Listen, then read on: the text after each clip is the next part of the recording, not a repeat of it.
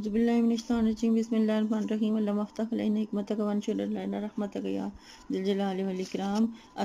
Students आज हम chapter number one की एक्सरसाइज करेंगे केमिस्ट्री की।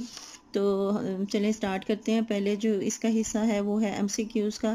तो एमसीक्यू स्टार्ट करते हैं। फ़र्स्ट है which one of the following group comprises of elements तो पहला जो है ए है mercury water ammonia B A iodine tin iron C A copper aluminium methane और C coke coal smoke and fog तो इसमें से बी ऑप्शन राइट है बिकॉज़ ए में जो है वाट मरकरी और अमोनिया तो एलिमेंट्स हैं, लेकिन वाटर जो है वो कंपाउंड है। तो बी में तीनों एलिमेंट्स हैं सी में कॉपर और एल्यूमिनियम तो आपके पास एलिमेंट्स हैं but methane is a compound और सी जो है वो भी आपके पास मिक्सचर आ जाते हैं। कोल जो है वो तो कार्बन होता है एलिमेंट होता है, लेकिन स्मोक और फॉग जो है वो मिक्सचर आ जाते हैं। It means B option is right second question is which one of the following can be broke broken down into simpler substances तो हम कंपाउंड्स को ब्रोक डाउन कर सकते हैं ब्रेक डाउन कर सकते हैं but elements can not be break down into simpler compounds तो हमारे पास ए में अमोनिया है एन एच थ्री तो ये कंपाउंड है, इसलिए हम इसको ब्रेक डाउन कर सकते हैं। बी ऑक्सीजन है एलिमेंट है, वो नहीं हो सकता। सी सल्फ़र ये भी एलिमेंट है, और डी आयरन ये भी एलिमेंट है। तो इट मीन्स अमोनिया जो है, ये राइट right ऑप्शन है। सी थर्ड है the gram molecular mass of H N O three तो ये जो है, ये कैलकुलेट करने की चीज़ है। तो आइए हम इसको कैलकुलेट करते हैं कि ग्राम मोलिकुलर मास जो है, वो एच एन एच थ्री का कैसे कैलकुलेट करते हैं। पहले तो एच एन एच जैसे कि आप फार्मूला में देख रहे हैं कि इसमें तीन एलिमेंट्स हैं एच एन एन ओ तो तीनों एलिमेंट्स को है, हम करेंगे, आप ये देखें कि हम ये थर्ड है gram molecular mass of H N O three तो एटॉमिक मास पहले हम देखते हैं, लिखते हैं इनकी कितनी है हाइड्रोजन की वन ग्राम है नाइट्रोजन की फोर्टीन ग्राम है और ऑक्सीजन की सिक्सटीन ग्राम है ग्राम एटॉमिक मास तो ये जो है, ये इनकी ग्राम एटॉमिक मास है। अच्छा। अब जो है, ये आ गया हमारे पास तीनों को जब हम ऐड करेंगे समय समेशन करेंगे तो हमारे पास एच एन ओ थ्री की मेलिकुलर मास आ जाएगी।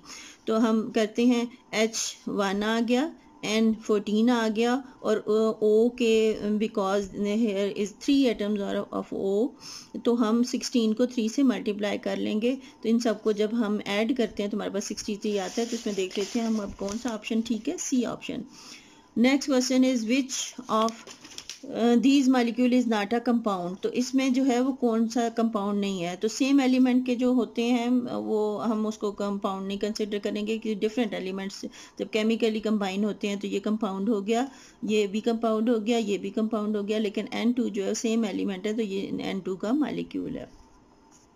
Which one of the following is equal to two moles of water तो अब ये पार्टिकल्स दिए हुए हैं इतने मालिक्यूल्स हैं तो वन मोल में आपको पता है एवोगेड्रोस नंबर होते हैं।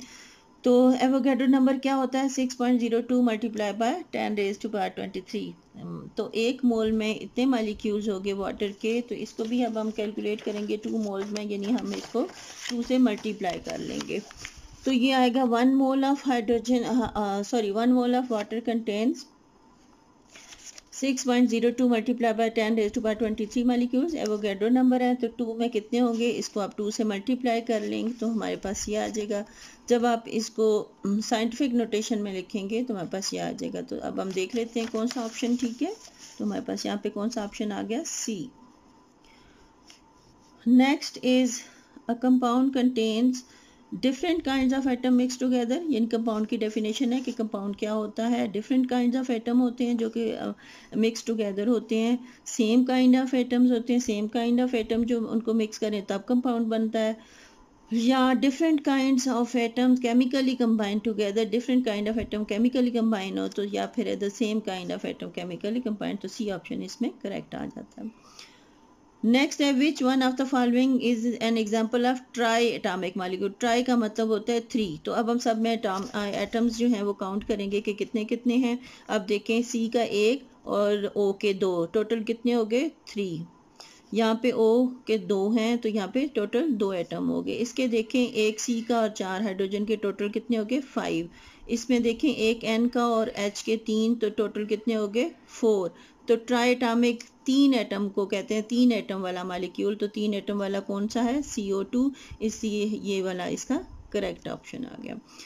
एक वाला मोनोटामिक होता है, दो वाला डायटामिक होता है, तीन वाला ट्राइटामिक होता है, और फोर वाला टेट्राटामिक होता है, पाँच वाला पेंटाटामिक होता है, और जो बहुत ज़्यादा हो जिसमें वो पोलीटामिक होता है। अच्छा जी, अब एट्स हाँ इसका आ गया hydrogen gas is hydrogen gas क्या है? अब मोनोटामिक गैस मोनोटामिक के हाइड्रोजन गैस जो है, उसका फार्मूला होता है एच टू तो आप देखें, दो जो है मोनोटामिक एक मालिक, एक एटम वाले को कहते हैं तो ये क्या है, ये डायटामिक है। तो ये ऑप्शन भी नहीं हो सकता, ये भी नहीं हो सकता तो तीसरा आ गया diatomic gas with each molecule made up of two atom तो ये वाला इसका करेक्ट ऑप्शन आ गया। अब नेक्स्ट हमारे पास जो क्वेश्चन है, वो है जी question number nine which one of the following compound has both empirical and molecular formula identical कि आप में से चारों में से कौन सा ऐसा कंपाउंड है जिसके बोथ एम्पेरिकल और मालिकुलर फार्मूला जो है, वो सेम आइडेंटिकल का मतलब होता है सेम या एक जैसे? तो अब पहले तो हम इनमें डिफरेंस वैसे पीछे आपने पढ़ा है कि empirical formula shows the smallest whole number ratio of the atoms present while molecular formula shows the actual number of atom present in a molecule of the compound तो अब हम देखेंगे ये आपको जो दिए हुए हैं, ये इनके मालिकुलर फार्मूला दिए हुए हैं।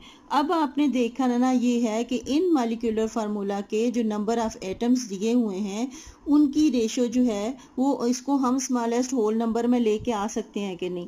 Just like for example the benzene का सी सिक्स एच सिक्स है। तो इसका एटम की रेशो क्या है? सिक्स सिक्स तो सिक्स सिक्स रेशो को हम स्मॉलेस्ट नंबर में लेके आ सकते हैं। इट मीन्स कि इसका आइडेंटिकल नहीं है, बल्कि इनका डिफरेंट होगा। एम्पेरिकल फार्मूला जो है वो सी वन एच वन या सी एच होगा। दूसरा जो है और इसका केमिकल फार्मूला जो यहाँ पे दिया हुआ है वो ये है। बी ऑप्शन है hydrogen peroxide H two O two इसका भी वही है कि इसकी जो मलिकुलर फार्मूला में जो एटॉमिक रेशो है वो टू और टू है। तो सिंपलर फॉर्म में हम लिखेंगे तो टू टू से कैंसिल हो गया तो एच वन ओ वन या एच ओ आ जाएगा। तो इसका एम्पेरिकल फार्मूला और जो है और केमिकल फार्मूला जो है वो दोनों मलिकुलर फार्मूला जो है वो दोनों क्या होंगे? डिफरेंट होंगे। थर्ड है वाटर तो इसके जो रेशो है वो टू इंटू वन है। इसको हम सिंपलर में नहीं लेके आ सकते।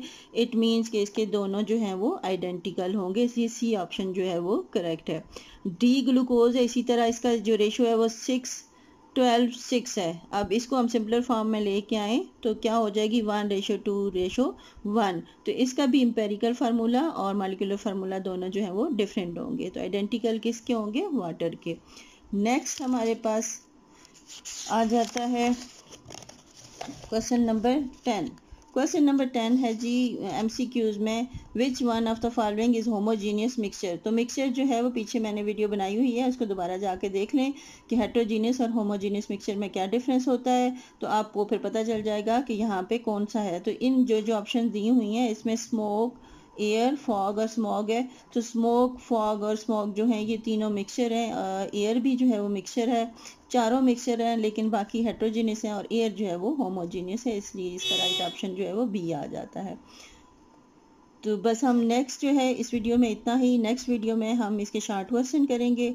तो खुश रहिए, खुशियाँ बांटिए। अल्लाह हाफिज़।